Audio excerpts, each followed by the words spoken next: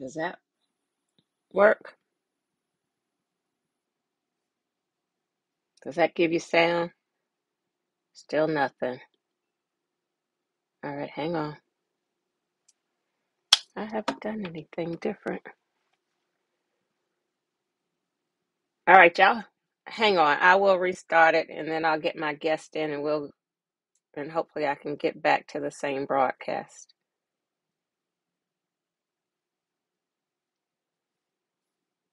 Hang on, y'all.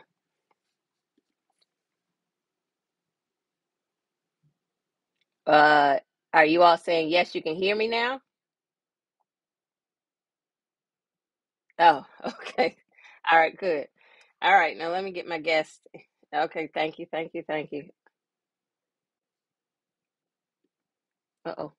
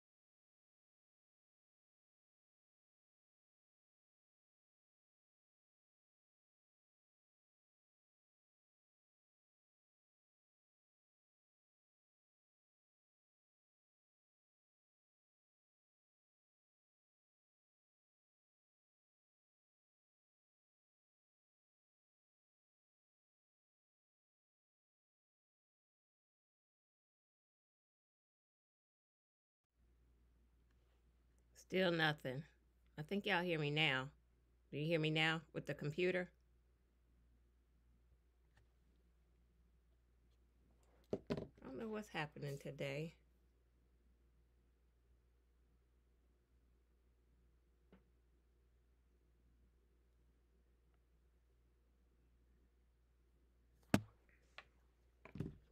All right. Still nothing? Y'all still can't hear me? Yes, you are back. Okay, so maybe I just have to use the computer. Hopefully it doesn't have a kickback. Okay. Everybody's saying they can hear me. Sorry, I don't know what's going on. My AirPods have been weird. Um, hopefully my guest can get in shortly. And then we can get started. Okay. All right. All right. Y'all can hear me. All right. Hopefully this um now I know I have a line through my face. I'm hoping my guest is dialing in shortly. Let's see. Make sure y'all can hear me. It's coming and going. Uh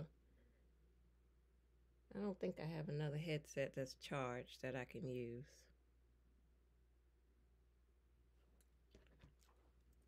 Um, okay, everybody saying they can hear me. Okay, I won't mess with the AirPods then.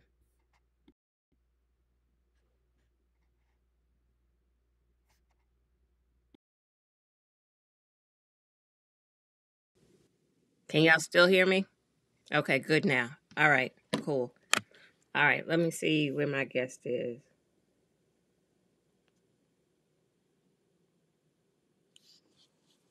Okay, good through the computer. All right, thank y'all. All right, so while I'm waiting for my guest, all right, cool, cool, cool, cool. I don't. I'll have to check on my AirPods. Happy Sunday, everybody. Hello, Cynthia. Hi, Linda. Good morning, Judith. Good morning, Kitty. Uh, thank you, Crystal. Like, sub, and share. Maybe I'll do my intro while my guest is coming in. Um,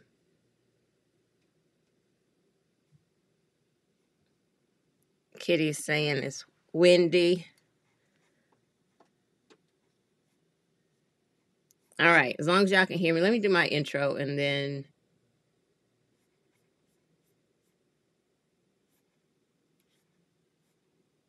make sure. Yeah, hello, Day. All right, I'll do the intro while we wait for my guest.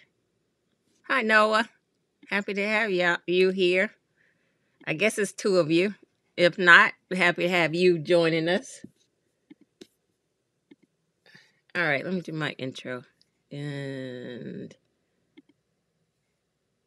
as I'm sure as soon as I do my intro, she'll she'll sign in. So let's just see what we get.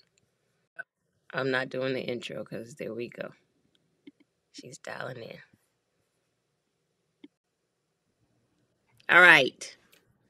Ah, So so we're live. We are live. That is okay. I'm just happy you're here. Thank you so much. Hello, hello, hello. delighted to be here. I'm delighted to have you. So I didn't do my intro. Y'all know what this is. Um um, Miss Bohemian Soul TV. We're always doing some inspiration, sharing some stories. Um, as I do this intro, um, oftentimes it's not specific specific to tiny houses, but there's always a, a connection um, somewhere in there, and there absolutely will be the connection in this conversation. So, um, thank y'all for joining um, as you do, and I and I'll just say that as as I always say that I believe our homes tell a story about us, whether intentional or unintentional. And this story, like I just said, doesn't specifically involve tiny houses, but there's a big segment of housing involved in it, and the intentionality and all of those things. So I feel like we're going to come back right back around to the conversations that that we're used to to having in this segment. And because it's always bigger than the housing like there's a journey but housing kind of always ends up being the core. So i thank you for being here. Um i had the beautiful opportunity so um i think it was 2018 when i first met elizabeth at um, a tiny house event and I hadn't seen Elizabeth in person since 2018. And I asked her maybe about a month ago to be a guest here. And then I saw she was going to be in DC um, for an event with some of my other cool friends. So I was able to um, go to the event. Was that last week before last? Last week, week before last. The day, the days run together um and surprise her because i didn't tell her i was coming i kind of uh kind of made the arrangements in the background so i was very happy to be able to connect um, with elizabeth in person um, after having not seen her for so many many years so elizabeth please introduce yourself to the guests this morning and thank you so much for being here No, delighted to be here. And was that 2018? uh, yeah i'm pretty sure it was yeah Six years. My yeah goodness. yeah It's almost feels a lifetime. yeah I am, you know, sort of at an amazing place now. Uh, having turned 70 in December, as I say to people, closer to the exit than the entrance. And um, I met you probably right after I had done a self-published book called 55 Unemployed and Faking Normal. And then I did one with Simon and Schuster, 55 Underemployed and Faking Normal, about the millions of older Americans who have not set aside the million plus dollars that you will need to maintain your standard of living in old age. Because what we know is if you make it to 60 in reasonably good health, chances are you're going to live, you know, well into your 80s, if not your 90s. And so many of us don't have pensions, have not set aside enough money to sort of uh, make it possible to live the way we're used to living. And I had my own experience with that, stepped on a banana peel, uh, kind of mid to late 50s, and wrote about it. And wrote about it at a time when I was still feeling shame about it or embarrassed about it because we live in a country where um, you only talk about how you've succeeded, you only talk about the wins. And I thought what happened to me was maybe happening with me and a few friends of mine. And I wrote an essay describing what it was like to land here, and thousands of people responded overnight. Okay, And I so have the back. so so Yeah. don't go too far because I want to dig Okay. dig in dig into that. Okay. So I right. I have some questions about everything that you just shared, and so thank you, thank you, thank you. Um, Yeah. Michelle, we're we're gonna miss you, but I listen to the replay. I'm glad you're here for a few minutes. Thank you so much. So stepping back, that and, and it's important because we were just talking about this here last week. The give us a little bit uh, of obviously whatever you're comfortable with. Give us a little bit of the situation you found yourself in. And what we were discussing last week is the fact that you're oftentimes in these situations and you feel isolated, don't feel like anybody else can relate to that situation. And you're just what you just said in shame and you're just suffering and you might suffer for a while and then sometimes you you let it out and you realize oh my god like this is this is something that's happening all over and yeah give us give So us you know at that if you can the title of my book, there's 55 underemployed and faking normal. hmm I use that term for a reason because I was pretending I was okay when I wasn't okay. hmm And I have the kind of background, I have all the props and credentials, Harvard, all the little union tickets, and it wasn't working. And you know, you do the little informational interviews and you, you know, fill out the applications online and you still have pretty good clothes from when things were working and so you're still trying to kind of fit in and you uh, going places um, you know scrutinizing the menu because you only have this budget but you right. got to be there because you got to be you know on the scene talking to people and you know so there was all of that and uh, one of the things i somebody said to me uh, god works through people and if you don't tell people what's happening to you they're not going to know. And my fake was very very good because i had the you know i lived in the place i'd been living. Now if you came in you'd see there was a hole in the ceiling and the carpet was a mess and the this the the uh, washer and dryer didn't work and all of that but the address was the right address. Right. And i had still the clothes so i could look the part and this is where the faking normal pretending you're okay when you're not okay. And I had a couple of friends during that period who we must have borrowed the same $200 back and forth a dozen times. When I had it, you know, I owed it to her and then back and forth. And it was not knowing that this was happening to a lot of people because the fake normal, and if you have a good fake, because you've got, you know, some of the clothes or whatever, or you got the car or whatever, uh, people are not going to necessarily hmm know. hmm that's exactly what we were talking about how you can you know even uh, an actual illness if you don't look the part there there's oftentimes no sympathy given. Um if you don't look the part um people don't understand they're like you know what's wrong with you? Get it together. You look fabulous. Like they they can't garner any sympathy for you don't physically physically look like something is wrong with you and the other thing i wanted to step back and i completely forgot this so thank you for um Um, thank you, V Cooper, for reminding me of this. You said 70, and this is this is the conversation we keep happening having over here. 70 where is is somebody said something last week and I got totally off track when they shared their age and us 70 where. So kudos to you. Um I I didn't realize you were at 70. I knew 55 that when you wrote the book that it was a few years ago, but I didn't realize you were at 70 goals, goals, goals.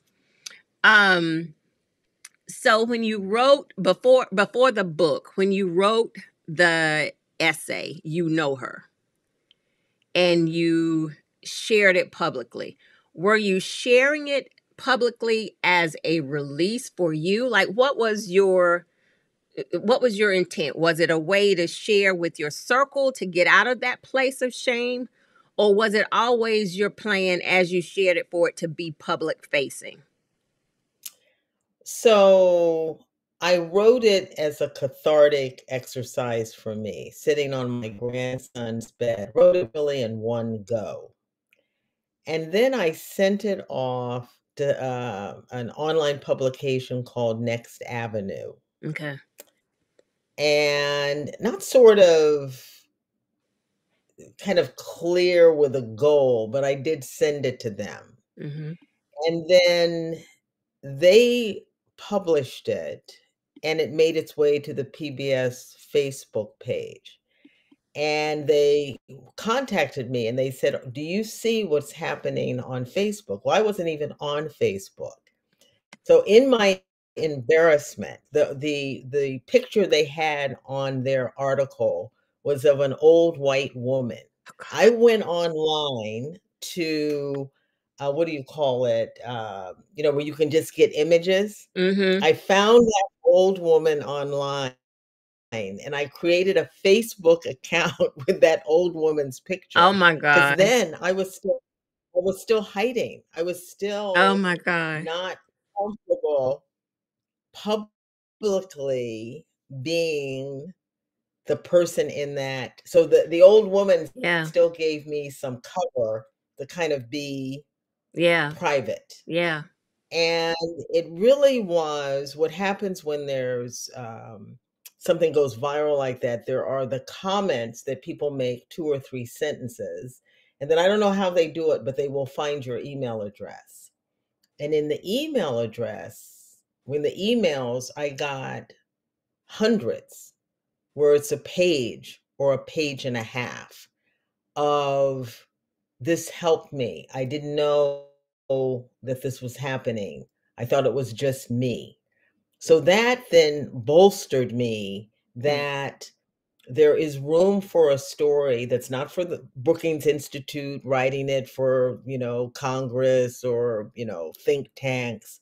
There's a story for people who are having this lived experience. And because I have uh, the background, I do, I can look at data. And that's when I realized, ooh, these numbers are huge. hmm And we're not having this conversation. But it was bumpy there in the beginning for me because Yeah. I was not.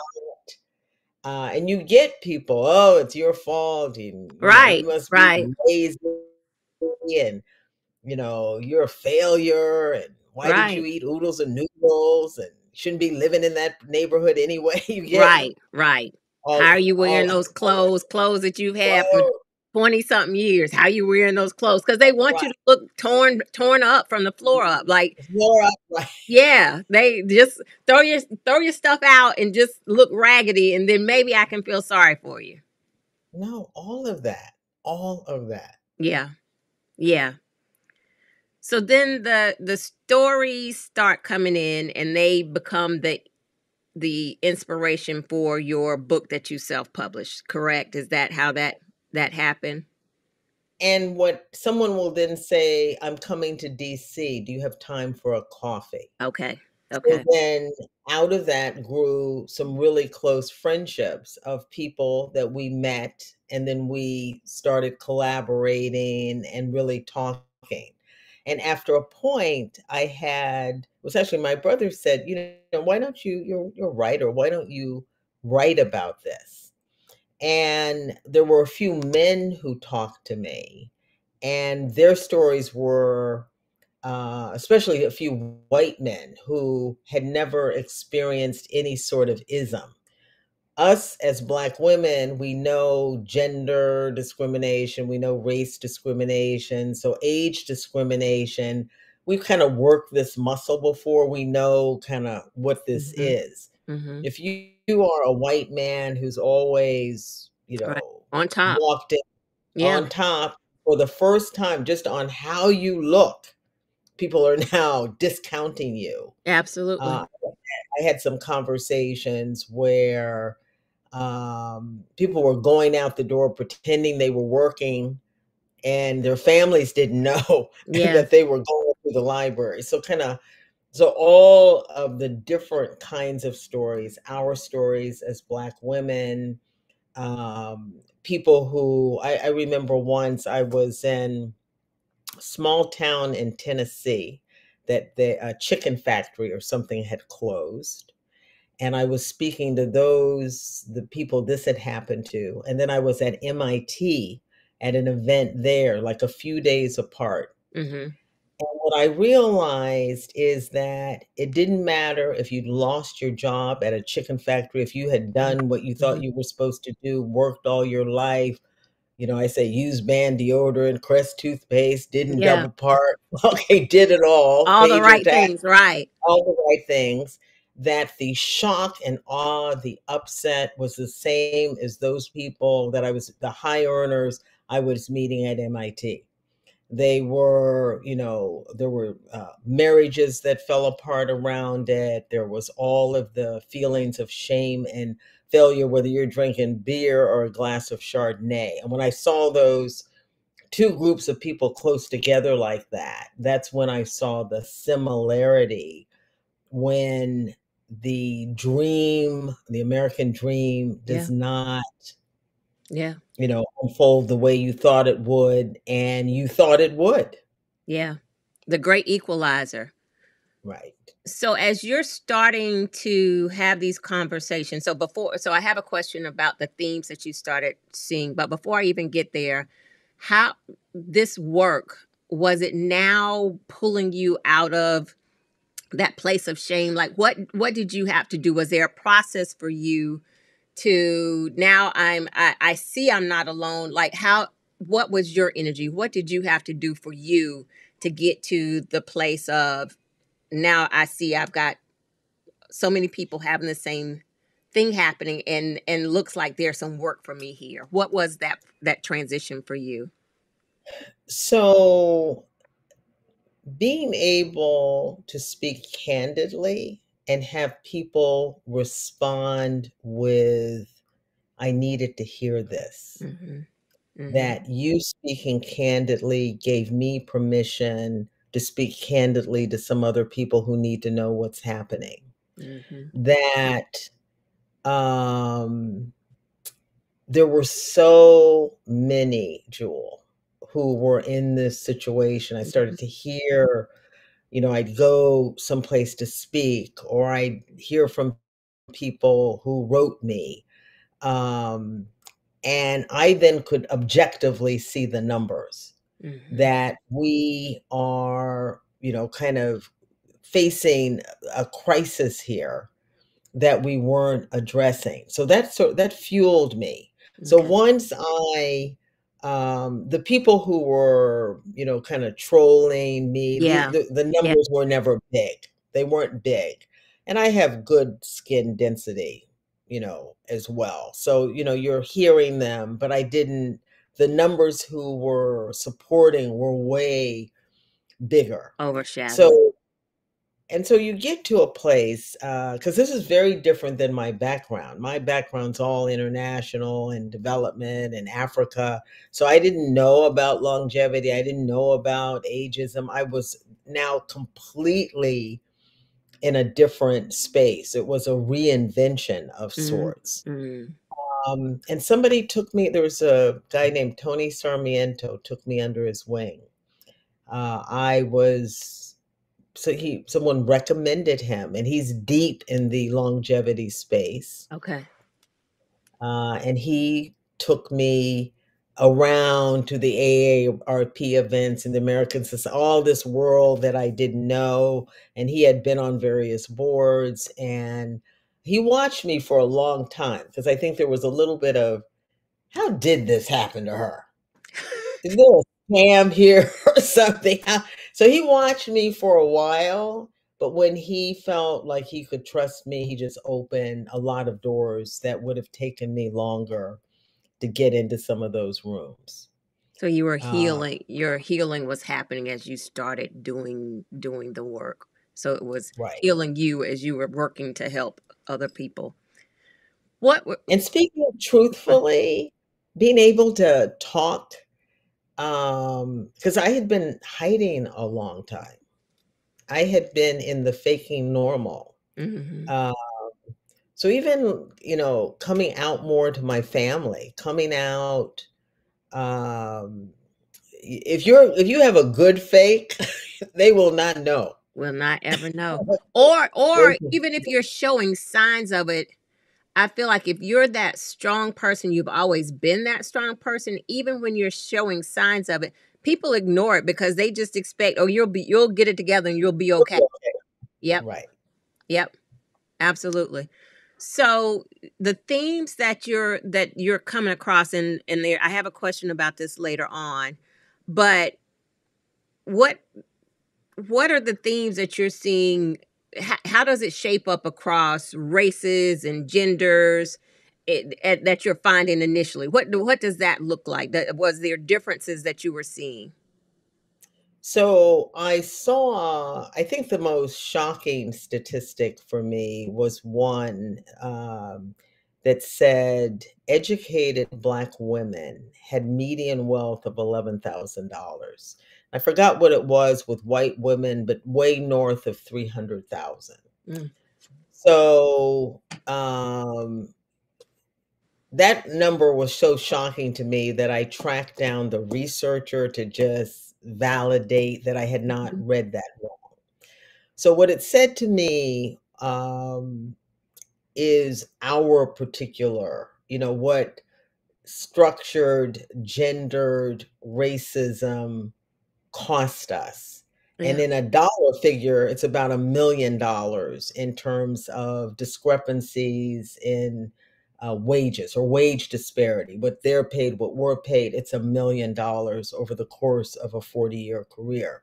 So when you think of that, that's a house, that's education for your children, that's, you know, your rent, mm-hmm. that's so many things that would uh, put you in a different position than you're in. So kind of when I, um, started to see also what they call the forgotten middle. Mm-hmm. So these are, um, you know, we're going to get into housing, but with sort of senior housing at that five to seven thousand dollar range, market range, you have a lot of people make a little too much or have too many assets for government assistance. Right. Right. Cannot afford market rate housing for older adults. So that forgotten middle is not just us, but it's a lot of white people as well. And so I started to see these numbers and um, and I would go to the uh, NIC conference, which is sort of the like trade association for senior housing, and the the focus would be on that upper end, that ten thousand a month uh, luxury senior living. Yeah, yeah. Uh, where there's money there, and not so much in what uh, is described as the forgotten middle, and that's kind of how. Uh, you said at the beginning with uh, tiny um, housing and housing, you know, it is our financial security, it is our stability, it is our um, you know, kind of where our sanctuary is. If that is not right. sorted out, nothing sorted nothing, out. Nothing. That's your whole anchor right there. And and to your point, like the the focus on the people who have the money. So all of the commercials you see um, for retirement, you know, they're out playing tennis and jogging and walking through the park and traveling and exploring and that absolutely is how you end up in that place of shame because for the the large majority of us that's not go that's not our experience. That's not going to be our experience. And so you feel like that's what I'm I should be doing and uh, clearly I've done something wrong because that's Right. not that's not where I am. Right. And I think what drew me initially to tiny houses and how I found you, because I, you know, I was drawn to tiny houses, but I wasn't kind of feeling what I was seeing. I was feeling, and then I saw you, and then I thought, oh, I can do, I could live there. Uh, I've told you when you come to DC and you come to my place, you will totally see why I said that. Because tiny houses, um, it allows you to you you may not be doing all of what you just described but there are ways to find i have um many friends now we know where to go to spend $25 on Oh, dinner absolutely. Absolutely. okay Okay, know hold hold that thought, Elizabeth, because I want to ask you some more questions about the book before we go to tiny yeah houses. So hold that hold that thought okay just a minute. I, there's some other things that are so important in in the in the book that I want to talk about. So as you're as the way you've got the book written out, there's the community offering theme of the book. You ask people to gather and discuss in a resilience circle and it's not just it's not presented as just a self read there's an encouragement to to gather. Why why is that so important? And and like did you it doesn't sound like you had that but it it it sounds like as you started re this is the new release as you started writing this that was a key for you. And i feel like it's such a key as we get older. Why was that piece important and i did have that i did have my own resilience circle and okay the reason for this is going through this is crazy making. You right doubt yourself. You lose your center. You don't have uh, the confidence that maybe you had. And at the same time, you're still trying to find work. And what I started to see is if you don't have some place where you can tell the truth about what's happening to you, you carry that into interviews. You carry that into meetings. And people may not know exactly what's what's going on here, but they feel something mm-hmm, is off here. mm-hmm, And then they don't want to hire you, or they don't want to collaborate with you, or they don't want to. mm-hmm, So, what I found with my resilience circle, that was somewhere I could go and tell the truth about what was happening. And mm-hmm. even, you know, I had a like a little game in there where you could I could say, you know, "M my is about to be turned off." Someone says, "Well, my cell phone is turned off," to just the one out the one ups in, in the one ups in in in uh tragedy but i can one up you and because it you then had a safe space to tell the truth. So then when you went out and you met someone, you weren't what I called leaking. mm, Because I meet I would meet people, they'd want to meet me for a coffee, and they're leaking all over the place. And I knew if I were interviewing them for work and all of this was happening, all the intensity, then it is the person receiving it doesn't know what's happening. And so uh, the resilience circle was also good for somebody in my resilience circle told me about a program that allowed me to uh, defer payment on my mortgage for over a year. Oh wow And somebody else, you know, uh, I told her about something she could get. Um, they would come into your house and, you know, she got what are those, um, the chairs you put on the steps that go up the oh yes steps? yes yes yes So yes she was able to get that. They, you know, fixed all her toilets so they were higher height. So there were all these programs that we found. There were like five of us that we would share with each other because it, it's hard to since the country doesn't do a good job of Right. addressing this. Right. piecemeal it together, Yeah. hearing about this nonprofit that does a little bit and, you know, what your eligibility is, uh, for something else. So with 5 people kind of looking at the same thing, then, you know, a lot we were able to amass, uh, resources that helped each of us in different ways. Yeah. Yeah. The the community, and I it just becomes more and more important as you live longer to to have that support system.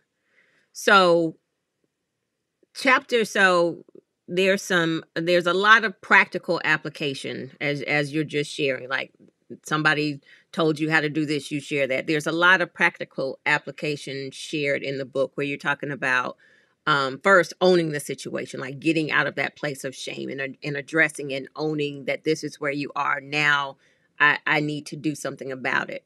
There's the chapter on borrowing borrowing money and you spoke to that you know that same $200 Mhm. and and sharing it around and and that makes perfect sense and somebody else um teresa i think yes teresa just said um that makes sense to her. There's you talk about looking into benefits. What are your options are you eligible for housing assistance or or food assistance? And again that is the part the, the the first step of owning it is so important because you may have had this pride all of these years to feel like that would never be me and here it is it is you. So own it and then here are the practical steps to to um, start trying to to get yourself out of this place. Um, the, there's also the application of considering your work or your entrepre- entrepreneur entrepreneurial um, in the struggle this morning opportunities what is it that you can do that maybe you've not considered and then the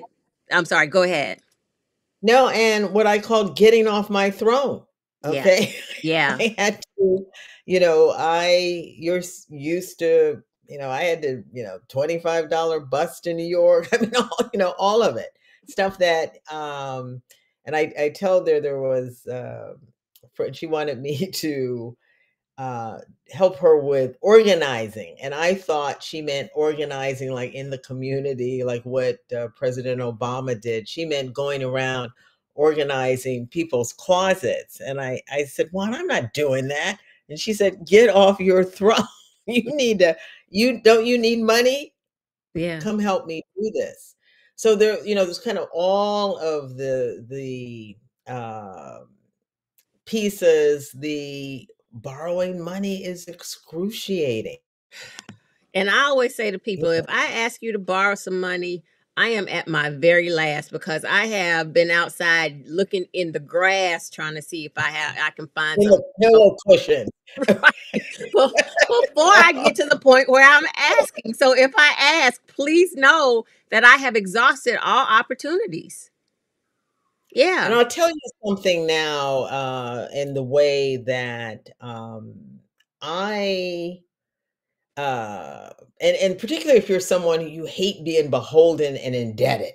Yeah. Oh, Yeah. excruciating. And so I, um, you know, here and there, friends get into situations. I now do not ask for a long, you don't even have to tell me why. hmm hmm I'm going to trust that if you're coming to me, Yeah. you need the money. And we just agree on the time it comes back. But there's something, there's some loss in dignity Yeah. uh when someone well you know it, so Yeah. i and Yeah. i also will sometimes if i can uh somebody asked me a few months ago for a thousand dollars to lend them i couldn't lend the thousand but i could give them 500 because sometimes that loan does not really help it doesn't help Yeah. so kind of, you know, how can you hold in grace? How Yeah. can you hold the relationship intact? Right. Uh, once you introduce that money borrowing, the whole thing Dynamic changes, shifts. Absolutely. changes. And so kind of uh, I wanted to do a chapter on that because I had seen uh, you know, a lot of dynamics there that, uh, including I spoke about Elijah, who is uh, my friend who's barefoot and no, who's the one who who lent me five thousand dollars, and he it was you know, you'd see him, you'd never think that that's the one, you know. So there's a lot of uh, kind of you have to work through. Um, honestly where you are. And I talk because people, you know, food stamp. I get the Yeah. food stamps. Yes. Yeah. It's out there.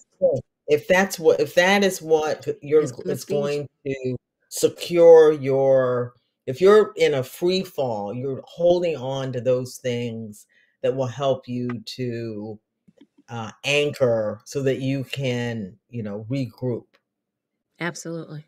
Absolutely. Um, and and like you said, I love it. Get off your throne. Um, and and it takes a lot. Like it I, I'm I honestly can say I'm in that place right now, having to talk myself through for because I've always been the person to help others and finding myself in a position where I now need more help than I'm used to. It is a whole exercise in my brain of going back and forth and being okay with with and asking and and putting myself out there in that place of vulnerability because it's a lot um in addition to whatever the whatever the need is or whatever the ask is so now you got to deal with the emotional part of just like what you said asking um to need And here's the thing. When I said when we first started, the person, she's minister, who said to me, God works through people and he can't help you if you don't tell them. I may know about the perfect apartment for you, but if right. you don't tell me or the perfect whatever for you that's right, I just talked to someone that told, but you didn't tell me. yeah. So I don't even know to mention it to you. what is it so mouth that, get fed? Yeah absolutely. Absolutely. Chapter 10 you talk about so you talk about san miguel and that is on my list to go like i really want to spend time there but chapter 10 is is big for me and and i feel like it's the big movement. It is what my friends are doing of thinking outside the country. So i'm i'm a shout out my friend charlotte van horn. She's black expats yeah, in panama.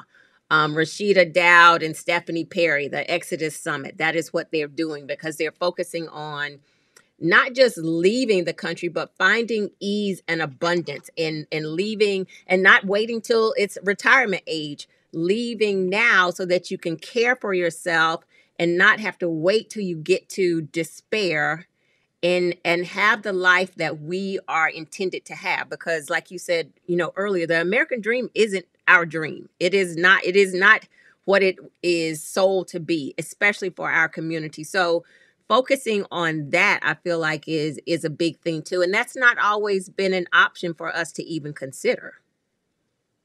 Yeah.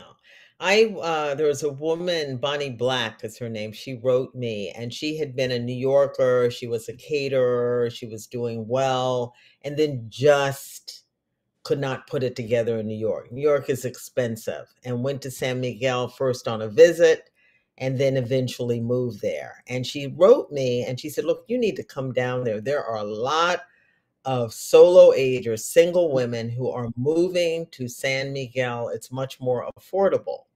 So I um, went down there to see her. She organized a lot of different meetings for me. And I met women who were living on $600 a month. I think the highest one was $2,400 a month and um and they were sort of you know kind of upset that San Miguel was getting on the map because too many people were raising the yeah. cost of living there. Right. But it was magical you know on a lot of levels. One just um the uh, Mexican culture and their view of older women in particular oh wow so that many older American women said they felt more seen there than they felt here. I remember speaking with a woman, she had uh, some, uh, uh, her eyesight was diminished. And she said she never felt like worried crossing the street because they, they're accustomed to seeing, you know, older women are not invisible.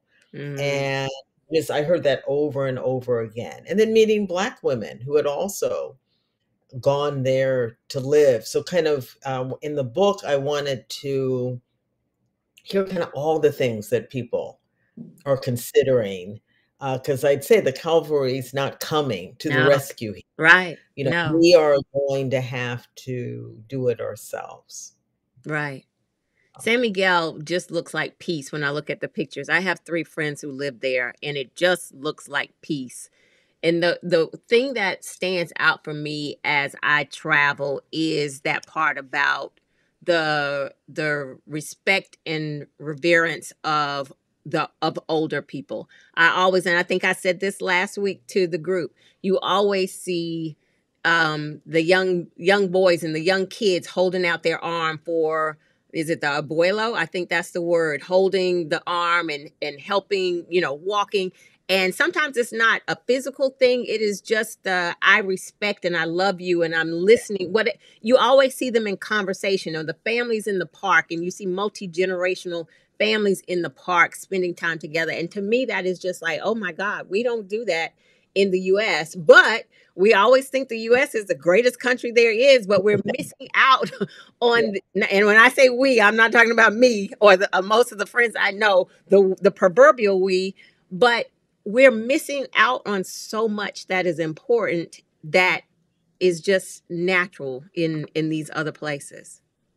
Now, I, I remember so clearly watching, it was an older woman with her two daughters and a son. So uh, each daughter had an arm helping her up, step up, and the son was behind her. It was just like a Sunday afternoon. And um, the community piece, you know, because we're here pushing individualism. Everybody needs their yeah. own vacuum cleaner, their own snow blower, their own car. Yeah. Okay, whatever and it's just not going to be sustainable. Mm-mm. Mm-mm. Um, and you know, so that now, uh, how do we think differently about what it's going to mean to be an older person in the U.S there's got to be something between you know under a bridge with cat food right and right. you know wind blowing on your yacht right drinking champagne right. there's something you know kind of yeah some some happy median in between those two yeah. extremes absolutely yeah. absolutely so chapters 11 and 12, I feel like they correlate to everything I feel like I represent. So the chapter 11, retirement security requires housing security. That is again the anchor. That is the everything. That is the the biggest expense. That is it it relates to so as I th- as I thought about that chapter, um having had my TIA in December if I didn't have my tiny house is saving my entire life right now. The non-expense of living, uh, my my income is reduced, my mm. all of the things and when I when I said my tiny house was my retirement plan when I built it in 2015 it I wasn't in that position. Now I'm in that position and the words a friend of mine echoed my words. My words are really really happening. Thank thankfully I have the house, but it is saving my entire life right now. Um wow. literally. Yeah. And and that is the the stuff that you talk about in chapters 11 and 12 housing just being our bigger biggest expense and how it's often the thing that drags us down because it's so expensive yeah uh and really thinking about what do we need? What do we really need to be content? And, um, you know, when you came up with Christine Platt of Afro Minimalism was also there. And I don't know if you said this to me or she said it this thing where you put all your clothes, you have the hangers facing one yeah. way. Yeah, we were talking about that. Look at what when you wear something, turning it around. Mm-hmm. Um, you know, yeah. So many um, uh, things that you know we live where we are what we buy that's how we Who we you know are. deal with Yeah. boredom that's how we deal with stress Yeah. uh of and then i think as um african american women you know we're taught uh, you know, we had an interesting conversation last week with Lyn Slater, and I've talked to her about, you know, clothes and the power of clothes. And Yeah. I know that uh, dressed a certain way, I will be treated a certain way in certain environments, and, Mhm. you know, kind of all of that. So initially, the whole, I said before I saw you, I was, you know, kind of intrigued by the minimalism but not totally drawn. It it felt a bit spare to me, a bit, you know, I couldn't feel the soulfulness in it. And I thought that, you know, you've given us, uh, and even someone can have, you know, a different uh, style. Your style and mine are very similar, but what you gave was permission to choose what you love Oh wow. and you you you know kind of hone around that whereas the minimalism i was seeing sort of in the mainstream was sort of prescriptive and just formulaic it didn't speak to you as a, a person and i'm talking about older people so who definitely have a point of view uh, so i'm i feel uh, like there is an opportunity to live well in a smaller space and not feel it's all about loss and deprivation. Yeah. That that's, you know, I Yeah. think on the the other kind of minimalism makes people feel like it's mainly about loss and deprivation. Absolutely. Absolutely.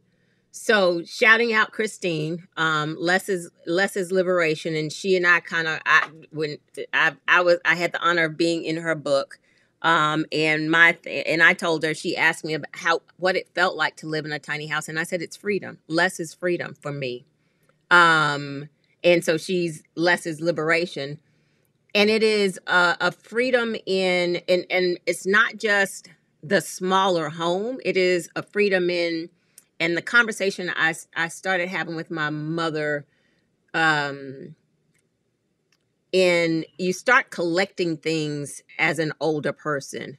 And you have a, a a pile of papers. You have stuff you're not looking at because you know as, as eh, the other thing that starts happening as you find yourself spiraling in these spaces is you start ignoring stuff and so then the piles start happening.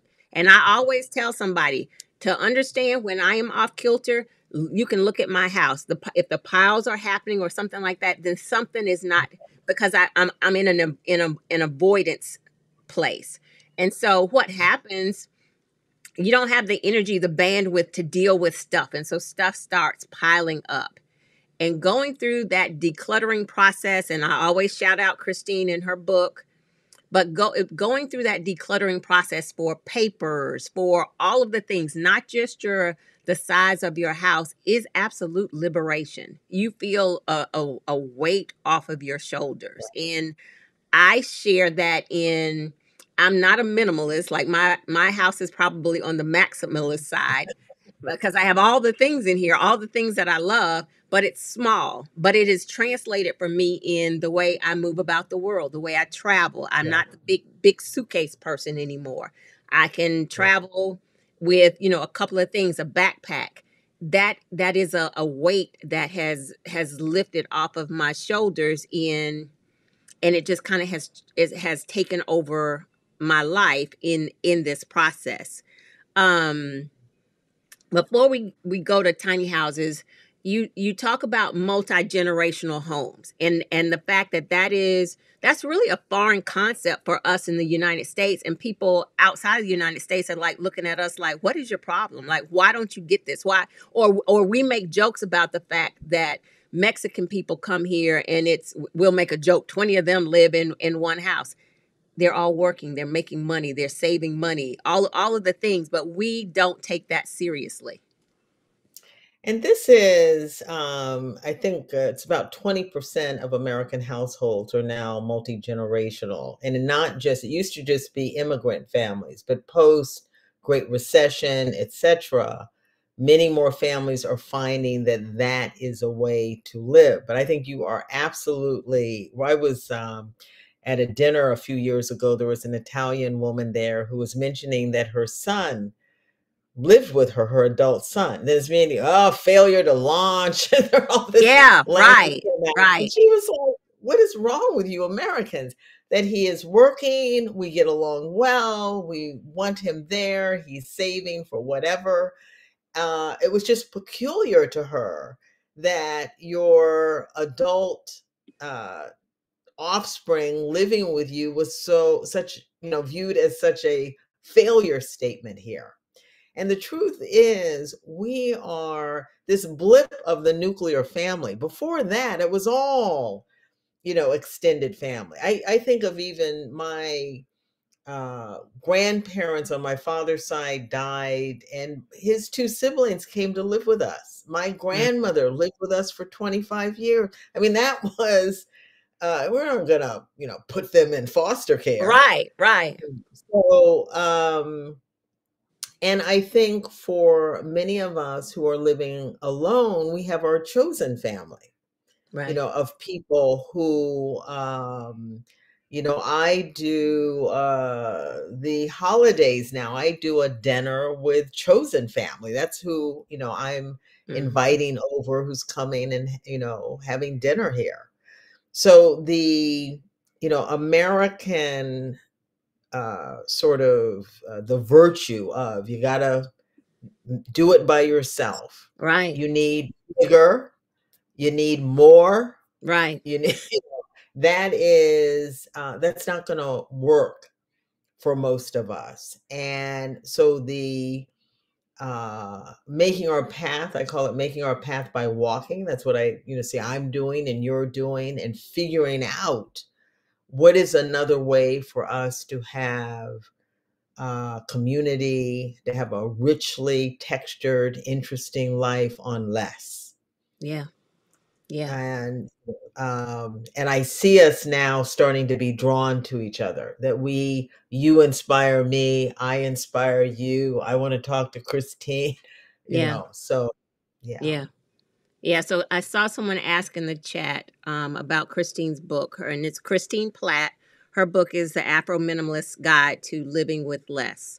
Um, and then just because I have, I, this is, can you all see it? Yeah, this is Elizabeth's book. So two books. I'll, you know, I share all the links, so I'll update the um, video description and add the link to both of those books um, here. But those those are the books that we're talking about. Um, so the only issue I took with the book on page 2225, you say, Des- designing a tiny home that's too posh, though, defeats the point. No, ma'am. no, ma'am. I was talking about the, uh, I think I saw a $2 million tiny home. okay, okay, okay. I was like, I'm not sure who she's talking to, but no, ma'am. So, and so I thank you, thank you, thank you, thank you, because when I was designing my tiny house and thinking about tiny house living, and I um I knew I was so this was 2012, 2013. Um, none of my circle understood what I was talking about. Everybody to your point was are you having hardship? Do you need a place to stay? Do you need a room? And i'm like no i got a whole plan. Um but then when i was designing my house and kind of looking around in the movement obviously nobody looked like me. And they were downsizing to the point of four shirts two pairs of pants and you don't spend more than this on the tiny house and you don't do this a lot of them were so much younger than me and my thing was like you, I've lived in some really nice spaces. I've got a closet full of clothes. I'm I still work in corporate America. I want to go to my closet, get my clothes and get my shoes and walk out of my house and and not be lifting up my couch. our earrings, our dangly earrings. Right. I, and I that's when I had locks. I got to be able to do my hair. I, it, I there's so much I have to do in my house, and if I design this house and I feel like I go backward, I'm not going to be happy, and that's not going to work for my psyche in feeling like I've gone backward when I've lived in some really nice spaces. So I'm not. And my tagline is, "You don't have to give up luxury to go tiny." I'm not doing those things because that's not going to lead to my joy. And I saw my house as my long term retirement plan. So I knew how important it was going to be to design it so that I could absolutely love it for eternity. And so I thank you. Um, and when I designed the other thing, so I remember when my house hit and a, a white woman commented and she said, Finally, a woman has designed a house that we can all get behind. it was just and so I knew it was going to appeal to women. I also knew it was going to appeal to black women. One, because they hadn't seen a black woman, and because I'm not saying we can't have our style, because we have to have our style. That is that is who we are. And and and that is um and so I do get a shout out in in the book on page 229. So there's a there's a shout out about Miss Gypsy Soul. So I I appreciated that. And I think when we first met, you mentioned that there had been a shout out that you had seen me. Um, and so I I appreciate that because and I've seen in the chat where people have said I gave the permission to dream, and I'm happy about that. But it was really just me dreaming for myself and sharing that. But again, not knowing other people are out here having this same challenge and, and need to see somebody else doing this or need that community of of somebody doing that. Yeah. And I can't wait until there's a community of us, you know, that that's um yeah, Yeah. Yeah. that that's the dream and Yeah. goal for me. Yeah. I have to say, this is I can't remember feeling so connected in an interview. Oh wow. I can't rem- I do I've done a lot. I just feel at home with you. I feel like I get you. I feel gotten by you. You know, I'm going to be looking for ways for us to collaborate on something. I just um, absolutely. you know, from the beginning, you know, Absolutely. really Absolutely. are charting a path. So you already know I'm a crier, so don't make me cry, Elizabeth. But abs- there is for me, there is so much honor in having you here. I just adore you. I've I adore I've adored you um since you were sitting in the audience because of course I'm in the audience and I keep looking on like, who is that lady with that hair over there? And I keep I kept looking at just I gotta know who that lady is. And then it was just the the energy and the connection. It's like I just adored. I've just adored you since 2018. Um, and the connection that you came around like with with Dom through Dominique, and I adore adore Dominique. So you've been family, um, even though we haven't hadn't seen each other until just recently since 20 2018 ish. So so thank you. I'm glad. I'm glad. You And I love yeah, that you hosted that evening before because that was important. That was my first experience going to a tiny house like conference, and then there was a gathering, yeah. a meeting before the meeting. Yeah, Yeah. yeah. Because me getting into the movement, and I feel like this is going to be a good segue for my next question for you. It was the, like I felt like we were doing doing something good. We were going to challenge the status quo of housing, and then I recognized, and and if we're challenging the status quo of housing, I keep saying that. So we need to be talking about the people who aren't included in the conversation the black and brown people, the unhoused, this the the the senior people. And as I started trying to do that and talk about okay, so where can I put a tiny house is the problem, but I'm also running into where can I put a tiny house and I don't have problems with racism and let's talk about that. And then I realized they don't want to talk about that and then they want to get mad. Why do you always have to bring race into it? like okay so i need to connect with different people i don't need just the tiny house festival I need to connect with the community that gets me. I need to connect with the people that I need to be talking to that are where I am and that can relate to my journey because coming behind me, I know someone in a tiny house on wheels, a black person, is going to have that same challenge. So, just like you said, it's sharing of resources and, and paving a way to say, you're going to run into this so that you don't have to be surprised like I was when I'm sitting in my house thinking, are they really outside saying the N word? Like, is this really oh, happening?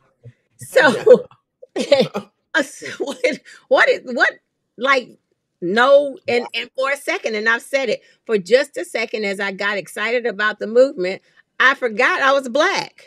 And it was just, and so now y'all are gonna remind me, oh, I'm black. And so there, there's, and that, so the, in the co-housing, when you start talking about co-housing, and I want to, we're gonna come back to tiny houses. You said um, that there was a sentence, a, a statement that you made. The very and co-housing and race the very people who could benefit are priced out. And that is that is our conversation. That is the same conversation for tiny houses. The same communities that can benefit benefit from tiny houses are priced out. And it's and then you have people who will come over and say why does it always have to be about race because it always is. It's right. Mm-hmm. yeah. it always is and that and, and your your work in the co-housing space you're finding that same thing that that we kind of have to claw our way into stuff sometimes yeah so i uh two years ago i was invited to join a venture studio um uh, mm-hmm. a startup to be a startup incubator Mm-hmm. And it was a, you know, some are like little hackathons, 5,000. Now, this one, they were going to invest 800,000 to a million per person, five of us. Uh, I was the oldest by far. I was like Grandma Moses in there. And they were going to fund an idea. So I had been sounding the alarm for a long time on the retirement income crisis. And now they were saying, So, what do you want to do about it? If you could do something. Mm-hmm. And um, it just all the things you said about housing and all that I was seeing about loneliness and isolation mm-hmm. before the pandemic, during the pandemic, all that I was seeing about financial fragility and the need for affordable housing. And I was seeing in DC and in urban areas co living spaces for young people, nomads, um, you know, kind of folks living kind of in the gig economy, etc. But I hadn't seen anything that could be specifically designed for us. And so I told them this is what I'd want to work on. And since I had, you know, this was in kind and in cash resources, I could hire architects and I could hire shared living experts and I could go to Amsterdam to the, you know, this big co-living conference and be on a panel there. And uh, think about how this could benefit. And it's going to be a lot of women. I mean, we live already five, six years longer than they do. So sometimes, even if you're in a couple, you're going to have some years where you are by yeah. yourself. And kind of walking this path now with uh, some renderings and a you know investment deck and talking to people uh, to see um, how and where I get up a building that would be multi generational. Because so many people are saying, "Look, I don't want to be on an island of old people. I want." you know in the building people of all ages so I'm feeling on the cusp of something. I don't know, kind of, you know, when you are like us, we throw spaghetti at the wall, okay? And we, you know, uh, there's a kind of way that we're moving. I don't know kind of where the conversation is or who, but I have been stepping and then the ground is there. Yeah. Okay. And so I'm in that space. I know this is a good idea. I'm hearing from so many people that in fact I used to say, you know, late 50s to you know, maybe 75, then a very cool 81 year old woman, why are you counting me out? Right. And I'm right. thinking, Right. you know, let me um and I and this is Yeah. for um when I think of who who I'm thinking of solo agers. So a solo ager could be someone divorced, widowed, never married. You may even have adult children who is not they're not in a position to help you. Either can't or won't, whatever it is, you are aging alone. It's for someone who is in reasonably good health. You may have a chronic condition or two that you are managing with medication, but you're not sort of in assisted living. You are likely working. I think a lot of times they don't think of us as working. Many of us feel like we're Yeah. facing a work for a lifetime Absolutely. you know, situation. And so we might in this space want a co-working space. They don't think of senior housing and co-working going together.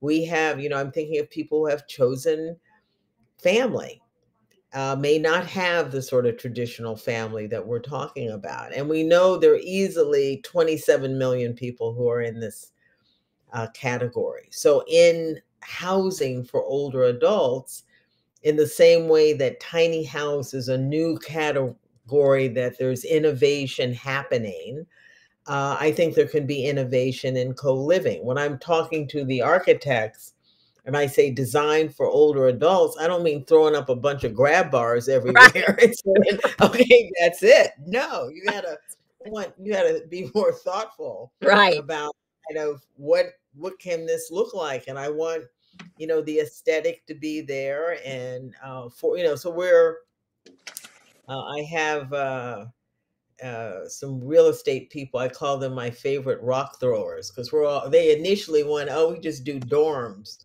I'm like, "No, this no, No, no, let's not just this do it's not working." it's You not. know. So, um, Yeah. So, okay, so. I'm gonna I'm gonna throw this one in here. It's gonna it's totally off topic. Yvonne, I'm happy to see you in the chat. Yvonne says this don't have nothing to do with the current conversation, but y'all look fabulous. The salt and pepper crowns are giving me so much life. Thank you, Yvonne. Thank you. I'm happy to see you in the chat.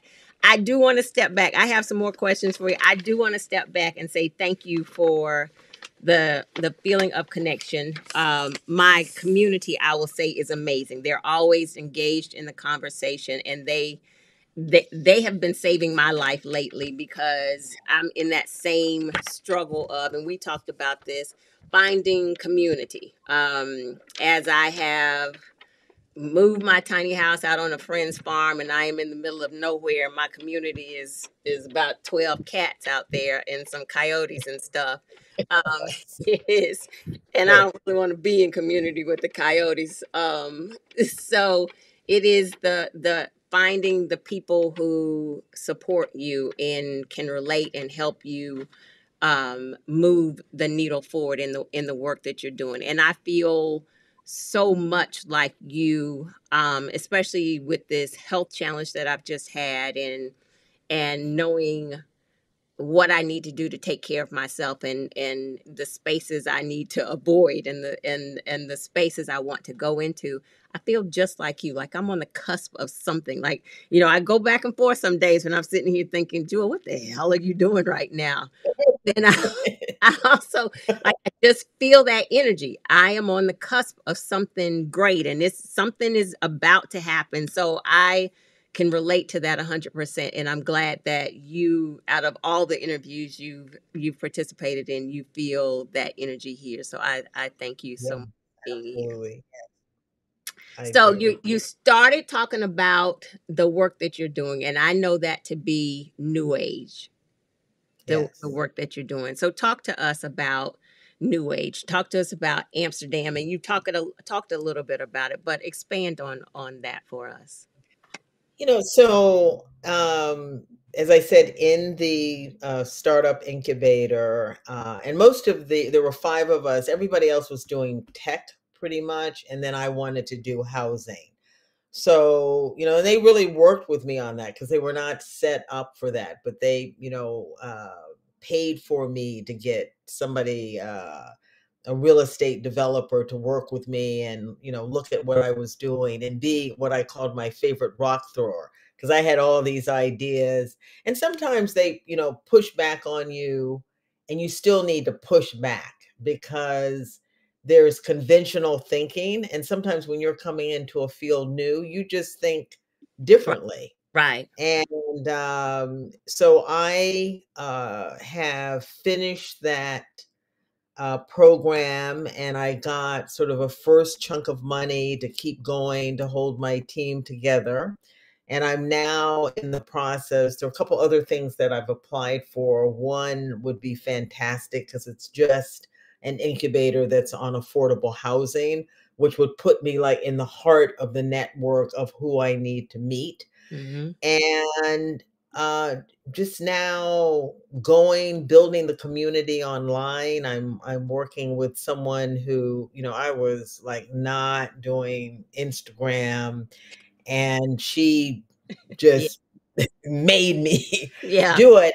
And then uh, so much engagement there and an opportunity to really ask a community, what are you looking for? And you know, what needs to be in this? I've had some people say we don't need a, we only need one, the one big kitchen that we're all sharing. And some say, no, I want a kitchenette that hmm I hmm introvert need a little bit, you know, I can engage, but I want to be able to disengage.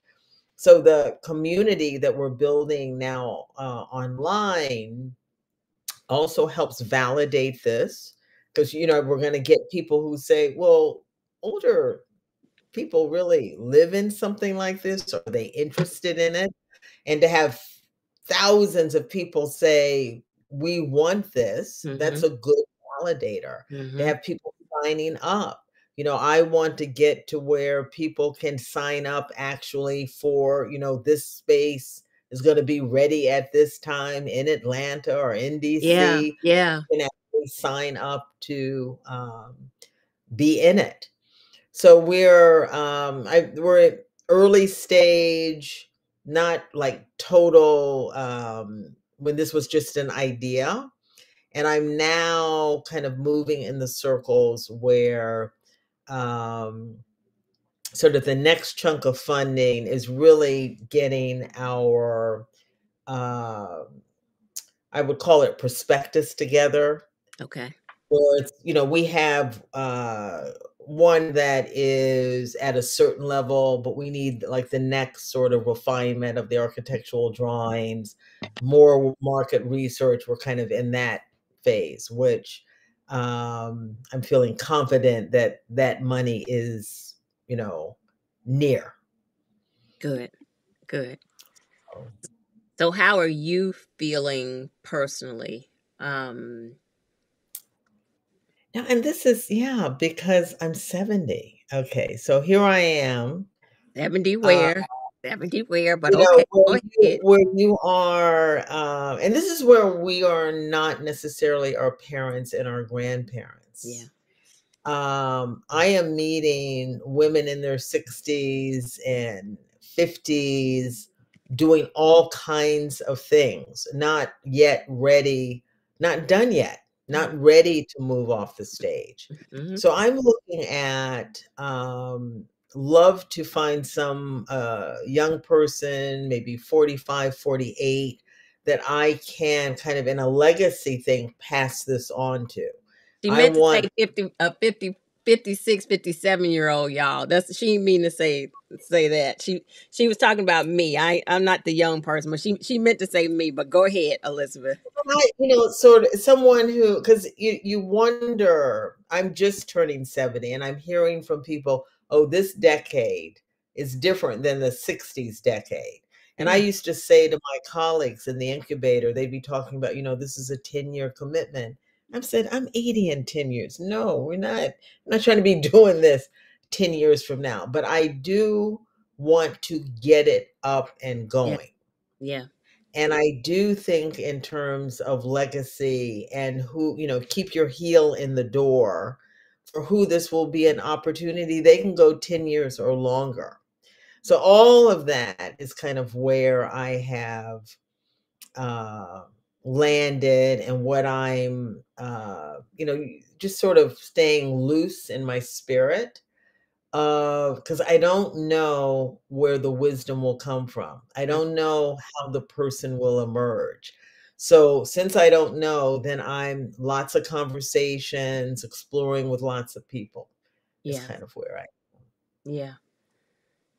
And kind of for me, like uh, I have said over the last few years, for me, my the next the work that I want to do next in this movement is absolutely community as well. From taking tiny houses to just from individual solutions. I need a house and and this is my house to how, what does this look like for community, building community. And so I absolutely understand um the the next moves that that that you're making and I also see it as the same vision for tiny houses because um as much as I am a introvert and as much as I'm I, I like to be alone I also recognize the older I get I there has to be some community even just from a safety perspective yeah. um so there's there's that big piece of it and you need to have people around like my having that mini stroke and being out here and not being able to alert anybody and and i know i know um and and i've joked before that happened i i used to joke with myself when i was out here doing something stupid on a ladder or something. It was like jewel you can't fall because by the time they figure out you're dead they would, it'll be a carcass. The the birds will have gotten you. These damn cats that you feed, they're gonna eat you up. And be like, well, oh well, we tried to wait for you to get up, but now we gotta take advantage of this opportunity. So it is it is absolutely a need for community as you get older from from that perspective and from a mental perspective, that engagement that you need with other people. It is No, absolutely yeah, necessary. I yes. Uh, and I think uh, we don't again because of the the culture uh, we live in of you should be able to do it on your own and you don't share uh, any vulnerabilities then uh, what is a natural feeling of i'm not in community or i'm not connected um, gets interpreted as somehow i'm the failure here Right. and when it actually it is a natural uh, need that we have as human beings and Right. how to you know when i think of um, you know my own sort of need so i'm not like when i think of the community that i'm wanting to build i'm not saying you know it's you know rah, we're all you know because you have to allow older adults you know sometimes we want to engage sometimes we Sometimes you don't don't. Absolutely. Mhm. and um and i have a number of friends who are introverts it's sort of you know how do you make space for people who uh really get fueled also by their i've had more than friend said you know yes the pandemic was terrible in a lot of ways but in some ways for them it Yeah. was really Absolutely. a place that you know allowed them to Go you in. know Absolutely. go in Within. without Absolutely. without a lot of questions Right. Absolutely. yeah I I can uh, relate to that 100%. I also think that this conversation, and somebody mentioned it a, a bit in the chat, I think this is a conversation that we have to keep having in our community because, um, and it's in our DNA, we're not oftentimes uh, um community gathering there's we're, we're not always in that space. We're often in, I need to go off and do this alone, or I'm going to hold this information to my keep keep it to myself because I need to do this. I don't want to share it. I don't want somebody to take it. And it's not always our fault. I always say, you know, we were we were given a raw deal with enslavement and so much of that is in our DNA, but we have to start challenging that and having these conversations and it's the same conversation like tiny houses i always say tiny houses is a hard sell for black people when you haven't had and when you're chasing that american dream and somebody's now talking about a small house and you're like i haven't had the big house and what the hell do i want to do? Laura ingalls little house on the prairie. Like i'm i'm not do any of that.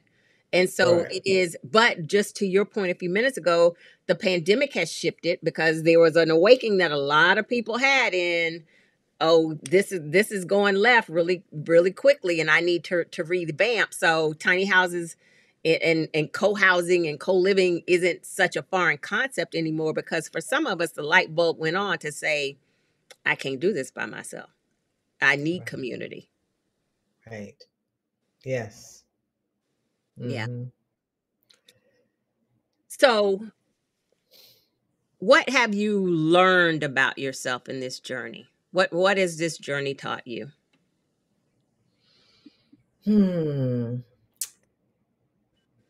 I think the um the whole process of being public with what happened to me um has made me how would I even put it? I notice now when I'm at uh, a restaurant with a group, I've learned to be able to read mm. something is happening because I'm paying attention. you did that to me yeah Yeah, I pay attention and I pay attention to what's said and what's not said hmm um, because that's what I needed that wasn't always happening. I think you said it when you're perceived as strong, hmm people kind of look, you seem okay, you're always okay, uh, and they don't notice. So, hmm one thing is really noticing and um, making sure that there's uh, transparency and that we stay connected. mm So, I don't like things building up. I like to, you know, sort of sort things out as they're happening. I think also, um, I was in a situation a few months ago where there was, um, uh, I needed to approach somebody that I thought had blown me off. They had a big position and uh, and I remember standing in the room. I could either cross the room or not cross the room. And I just said, I'm going. There's there's something that comes with when you're 70 yeah that you're, you're just going. it's You the know, time there, it's time it's yeah, the time yeah it's just time. And and you um you know sort of a clearer understanding of what your boundaries are there's so many things that you've seen before you can sort of fast forward uh, i was in a situation where the way this deal was beginning uh, there's a i can't remember there's a french expression that says the way something begins is the way it's going to end right so right there, there was a way that uh, just not being responsive that you um, realize you can stand facing a closed door or you can turn around. And sometimes we can face a closed door for months or years and we're lamenting it and we're in regret. And mm-hmm. we then don't notice what would Mm-hmm. happen if we Mm. turned around. Mm. So I was in a situation where there was a closed door and turning around did not know that all of this that has unfolded would unfold and you know from the you know self-publishing to something with simon and schuster i did a tedx the ted people invited me to put it on the main stage this you know um, uh, venture studio, the incubator I was in. And some of that is also being open to advice from all sources, every age. And I find at this age, often the opportunities come from people who are much, much younger because they're still in the game. They know where the resources are, who the rising stars are, what you know programs are coming down the pike. So it was somebody in their 40s who told me about the Ideas 42 Venture Studio. And I was 68 then and apply. see what happened. Mhm. Do the spaghetti at the wall, and, you know, when I learned there I think there were 4 rounds of interviews when it went from the 2nd to the 3rd, I "Okay, let me pull my socks up here and pay attention." So, um, openness to possibility, uh, not trying to make sense of things too soon. It it may not look the way you thought it was look. The advice may not come from who you thought the advice would come from.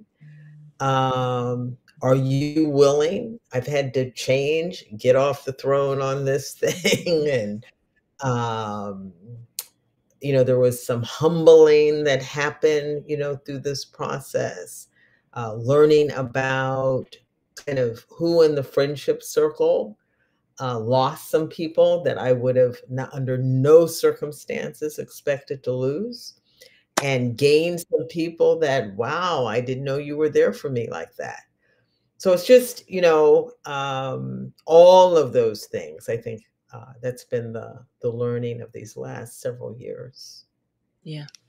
I'm rocking like, um, what's my girl from The Color Purple? Yeah,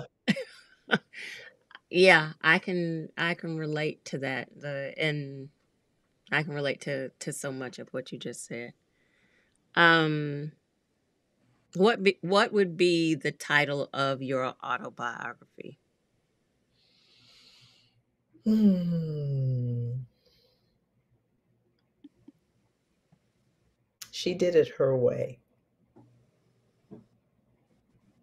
I love that for you.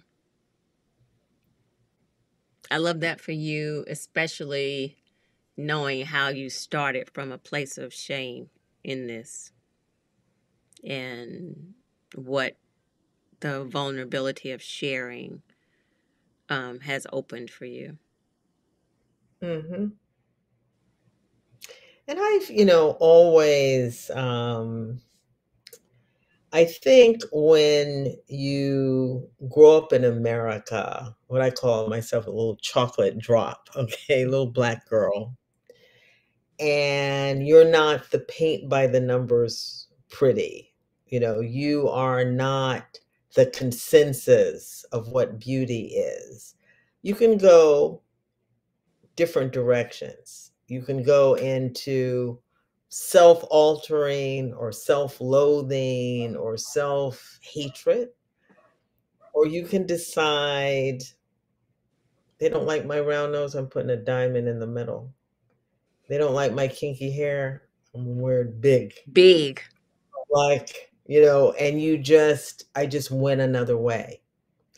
And that has served me in so many circumstances of not, uh, you know, feeling like I have to fit that I can be me and still go into those rooms. And I can still, um, go in those rooms and get out of those rooms what I need to get. And I'm feeling like that because I'm not, like, totally altering myself to be there. And that has worked with me, you know, I've had so much affirmation of that over the years that it's the same with gray hair. It's you know, I grew up, you know, it's before Lupita Nyong'o and all these, you know, pitch black Sudanese models, and so we're in a different time now than, you know, when I was 20. Yeah. So, um Yeah. And I'll add to that where you said knowing I can go in these rooms, refusing the go to go in the room if I can't be me. I'm I'm Mhm. I'm not going in the room if I have to be someone else. That that clearly is not a room I need to be in. And that I think that's a a big, um lesson, you know, I was I learned recently that, um my grandson was accepted into Harvard Business School and did not go, Okay. and I was I had I was it was it went from shock no, it went from aghast, appalled, and then shock, and then awe. And the awe for me was um, when now he didn't ask my opinion, okay? I Mhm. would have tried to talk him into it. But I think it is where you feel you don't need to do that to be accepted. Mhm. Uh, in a culture that says these are the union tickets to tech. Right. And um and we see in young people, we don't maybe like all that they're doing, but we do see in them that um there's some things they're not doing that we did. And you see it shifting uh now if you took 2 years off to do a gap year, uh when I was growing up, that would have just looked irresponsible. Yeah. Oh my god. Yeah. What we you know you know gap year you're supposed to lockstep Right. march and they now opened that up where if you went sailing for a year that could actually look make you a more interesting Absolutely. candidate right Absolutely. um so yeah Yeah. I um that Harvard Harvard piece I always and I was just talking about this with a friend yesterday with my daughter having gone to Harvard Law and she also is a she's you know of a different generation and space than your grandson. Obviously, I encouraged her to do all the things, but there was also some hardship that she experienced as part of doing that. Like I um, the think piece I was just talking about with a friend of mine was her first few months there and her calling back um, in despair because she didn't feel like she should be there. And she was talking about how the the white bo- um, white guys in her class knew all the answers and she didn't know the answers. So first we had to have a conversation around those answers aren't going to be in your head. Like you're insanely smart, but you're actually going to have to study because law is just not in your head. She was not used to having to study because she just stuff just came to her.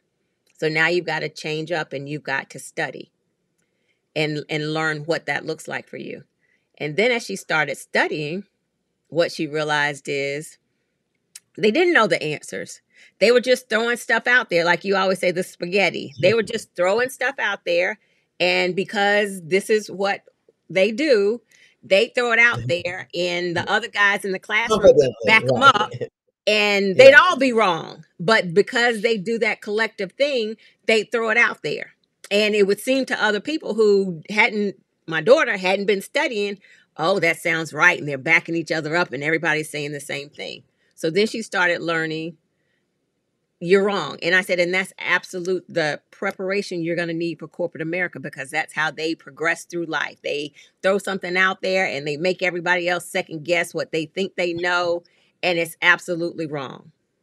And then the second thing that of her Harvard experience, her very first year in going back after she had finished law school, going back for I don't know if they call it homecoming for but for I, I guess it is homecoming. Um going back in the Harvard Black Law Association, she was a member of that and a group of them go back and they get together and they're going to a club that weekend and they get to the club and the it's a white club and the bouncer won't let them in. He says oh this looks like a group of thugs and we're not letting you in. no, no. The elitist of the elite, Harvard law graduates, and you're you're not going to let them in your club because you think they look like thugs. And it is so in in thinking about your grandson, you you do these things, you place yourself in these spaces because they're supposed to elevate you and oftentimes it causes you causes you harm and it causes you trauma and i appreciate and respect um, even though you know i probably would have encouraged the same thing you probably should go but i appreciate and respect the hbcu movement and the Right. and And the fact that people, our young people, recognize I don't necessarily have to put myself in those spaces. right. Right. No, definitely. Yeah. Mhm. Yeah, and we're I feel like we're somebody just said that about learning something from their daughter. I do feel like we're learning so much more from this younger generation, how they put themselves out there, the vulnerability, the acceptance, the all of the things that they do that they don't have the same hangups that I know I have from from growing up in my generation, and I and I appreciate and respect that for them so much. And not having to be perfect. You know, they just put it out Yes. there, see what happened, iterate, improve it. You Yeah. know, yeah. Mhm. Absolutely. Absolutely. Elizabeth, we could be here all day. Tell tell folks where they can find you and how they can support the work that you're doing. So one is to uh, follow along on Instagram, uh, the Elizabeth White Faking Normal, because that's where I'm going to be talking about NUUage and kind of what's happening. Uh, there is a NUUage uh, link on Instagram as well. You can follow along there. Um, and um, my book is available on Amazon, and I tell people I will, as time permits, it's 55 Underemployed and Faking Normal. Uh, if you start a resilience circle, I have been known to drop in on a Zoom call if you let me know in advance, and you know we can happy to participate in the discussion of a chapter. That's So beautiful. That's beautiful. So I was ahead of the game today, so I already have um, both of those links in the description. I'm going to go in and add a link to the book as well as add some information about Christine's book in the description so that information is there. Um, I can say with a lot of confidence that this won't be the last um, that you see of Elizabeth on the channel. We're something we're we'll if if not just catching up with each other and, and updates on what's going on. Um, there there will be the yeah, absolutely. of the work that we do. So um, I thank you so much. I knew when I reached out to you and asked you, um, would you do me the honor? I knew it was going to be fabulous. Um, this our Sundays, I always share the story that I was looking at moving this conversation from Sundays to to free up my time so I could attend brunch. And then I decided that I was going to keep it on Sunday, and and my Soul Collective, my my audience that that they call themselves the Soul Collective. This is ch- this is our church for for us. These conversations um, Yes, end up yes. Church for us and um and so i always know going into it like when the, the guests like this is going to be an excellent excellent conversation conversation and it was and i thank you so so much for um for sharing your your um day with us. Um the other thing so i have said to um my group that there's some there's um, the Eaton DC is um, where we just were uh, two weeks ago, where they, and I've shared it on Instagram. If you don't follow me, I shared some pictures. Um, they did uh, a, a book, um, a talk um, with Lyn Slater, um, Elizabeth, and Christine were there. I am going to be doing an event at the Eaton. We're working on some of those details. So you'll get to see Elizabeth again around there, um, that event as well, because she is in the DC area. Um, so thank you all so much. Elizabeth, I thank you immensely. I can't I can't say thank you enough for this. No, thrilled to be here. Um, And this is just the beginning. so absolutely. Thank you to the Soul Collective. Um, someone asked, was Elizabeth going to be at the Tiny House Festival speaking there? The festival um, is speaking specifically to tiny houses, but will the DC event absolutely? I'll figure out how to to pull Elizabeth in there. She won't be at the Tiny House Festival. Um, there will be someone speaking to aging in place relative to tiny houses, and that's Bonnie. Bonnie she was in our the audience last week. Um, so there is going to be a conversation there about um, aging in place and tiny houses. So um, look for that. And thank you all so much. Um, I always, always, always appreciative to you all. I'm gonna do my closeout. Elizabeth, hang on, don't hold, don't hang up. Let me do my closeout and Soul Collective. Thank you all so much. It was absolutely a fabulous um, conversation, and we'll talk again um, next next Sunday. So let me do my. They're all saying thank you, thank you, um, thank you, thank you is what what's happening in the comments. So Elizabeth, thank you so much. Uh, let me change my screen. Oh, that's not where I'm supposed to be. Here we go.